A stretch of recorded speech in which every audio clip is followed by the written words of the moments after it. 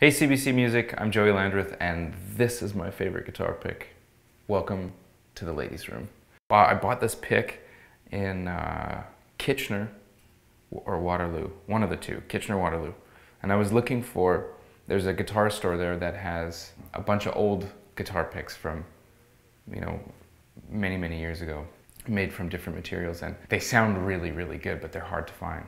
And so I went to the store because somebody said, oh yeah, these guys have some of these vintage picks. And they said, no, we don't have them anymore.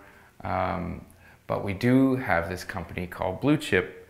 And these ones are actually made to sound like the old tortoiseshell guitar picks, which are like highly unethical and very illegal. But they sounded amazing. There's a couple different companies that do them, but I did kind of a blind taste test with it and just played it on a bunch of different guitars and played a bunch of different guitar picks. And this was the one that kept sounding amazing and it made like a lot of people don't consider how like how important your guitar pick is to the way that the guitar sounds. But these things sound incredible. They're not cheap. They're ridiculously expensive considering that it's something that's really easy to lose. But they're also made of this like crazy space age material that i think comes from space and they're like indestructible. I've been using the same guitar pick since October and it's March now. So, and usually I'd have gone through a whole bag of them by then.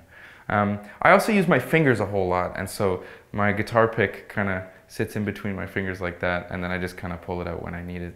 And it's just something that I've been doing for a really long time. So there it is. So this is the Blue Chip CT55 and it's my favorite. There it is.